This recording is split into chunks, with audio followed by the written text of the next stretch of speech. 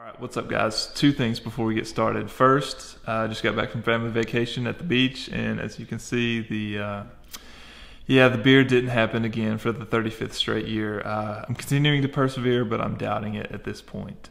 Uh, second, and more importantly, this is not an official Intrepid video. This uh, I know that Ben had done some videos, uh, some good videos for them about camera movements. This is just my own video. Um, I haven't talked to them about it because I'm going to be drilling a hole in their camera, two holes actually.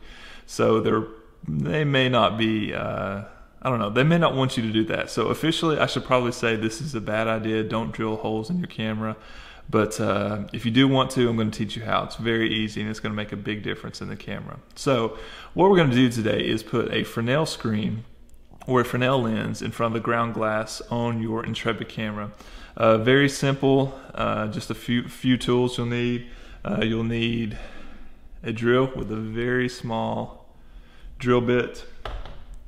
You'll need a small Phillips head screwdriver, a Dremel tool.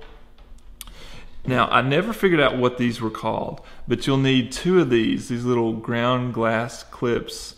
They screw in in the center and then they have these arms on them that you can bend to put tension on the ground glass.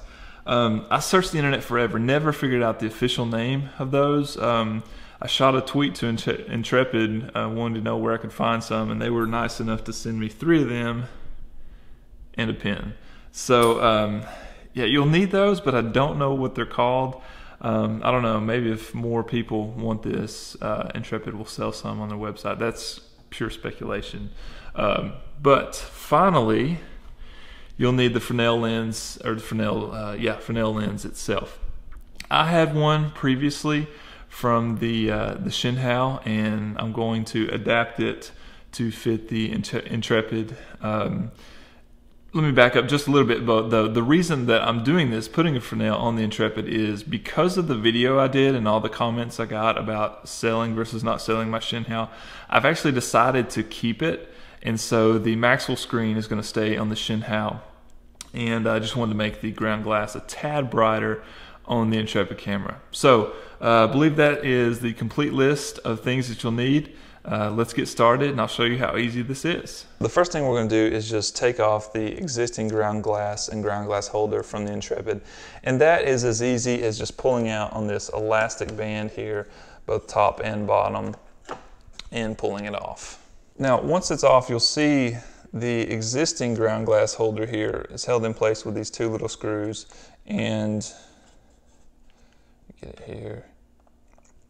And you can see how this little clip works to keep tension on the ground glass itself. Now it's very important, you don't want to shift the ground glass, the plane of the ground glass, you don't want to touch it at all because that's going to affect the focus uh, or how you focus and how your image is projected on the film. So what we want to do is leave the ground glass intact and we're going to put the Fresnel screen on the lens side of the ground glass here. There's debates on which side is uh, the best, whether it's the viewer side or the lens side. Um, I don't know the physics behind that, but I will say I've used the Shen Hao for about a year with the Fresnel between the ground glass and the lens and had absolutely no, uh, no focus issues. Okay, so you'll see that the particular, that the uh, Fresnel lens that I have, it was just one I bought at the viewcamerastore.com. You can pick these up at uh, B&H Photo. They're relatively inexpensive. But it doesn't quite fit in this little area between the ground glass and the lens.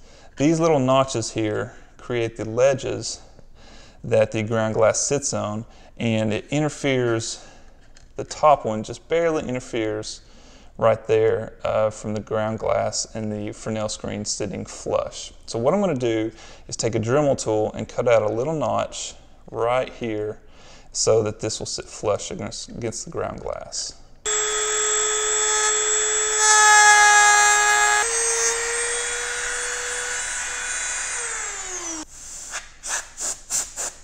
Uh, let me blow off the ground glass here. You get the idea. Just put a little notch in it. It slots right into place, flush up against the ground glass. Okay, so once you've got your Fresnel screen fitted, very important to brush everything off. Probably best to uh, grind that off in a separate area. I didn't really think that out. But um, we're just about ready to screw it in place. First though, notice that the clips that hold in the ground glass are virtually centered here. So when you flip it over, this little uh, area here, make sure that you don't put your clip dead center of that. You want to offset it a little bit. That's going to mess with my OCD, but you don't want to uh, interfere with this screw here. So what I'm going to do is hold up the little clip on the inside part here. Make sure that it's free so the little arms can bend upward and put pressure on the screen. I'm going to mark that and then drill a pilot hole in it and then we will screw uh, these clips into place with the Fresnel lens in.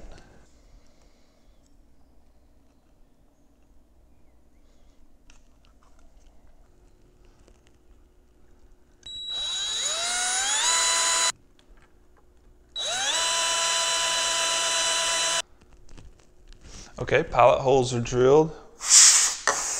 Again, we'll get everything very clean because you do not want any of this dust trapped between your Fresnel lens and the ground glass. So now it's simply a matter of you want to bend this to where it's putting some, uh, once it's screwed in place, putting some tension on the Fresnel lens. And you just kind of eyeball this. You can always increase or decrease the tension later on if you need to, if it's not holding the uh, the, the Fresnel lens tight enough. So do the same for both of those and then we'll just screw it in place.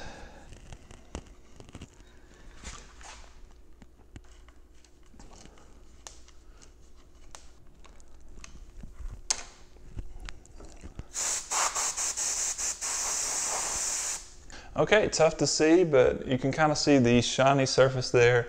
That is the Fresnel lens.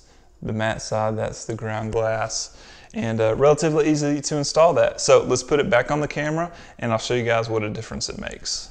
Okay, so I want to show this to you guys in video format so there wouldn't be any like uh, risk of me editing one photo to be brighter than the other.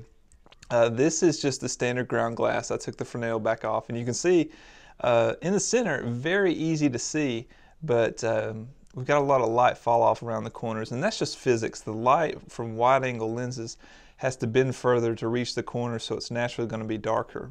Uh, so I'm going to show you the Fresnel lens here in just a second and you'll see that it really evens out that center bright spot.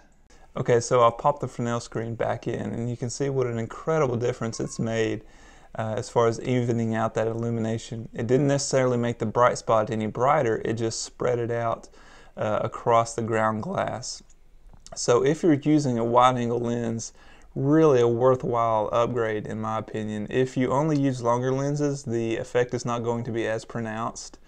Uh, but with these wide angle lenses really makes a big difference. So hopefully this helped. Uh, if you guys like this video, give me a thumbs up and subscribe, and we'll see you next time.